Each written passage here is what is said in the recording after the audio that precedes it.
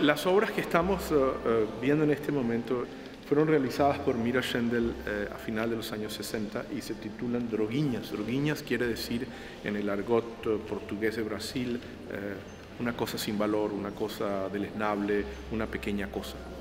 Fueron realizadas con el mismo tipo de papel que Mira Schendel utilizaba para sus dibujos, papel japonés que ella enrollaba, convertía en cuerdas y anudaba, transformándose en esculturas, en obras tridimensionales. Son obras muy raras, inicialmente concebidas para ser efímeras, eh, pero que se encuentran entre las más impactantes esculturas abstractas realizadas en el continente americano durante la segunda mitad del siglo XX.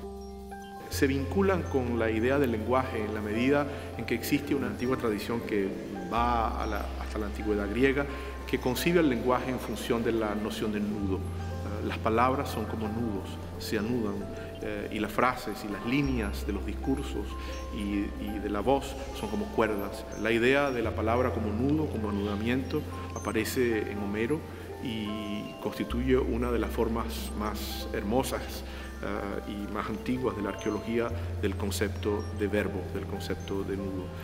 En el caso de Mira Schendel, estas obras eran prácticamente obras concebidas como lúdicas, obras para jugar, Uh, sin embargo, nos hablan de una idea de, del anudamiento imposible de desanudar, como si existiesen formas complejas eh, que no podemos resolver en transparencia.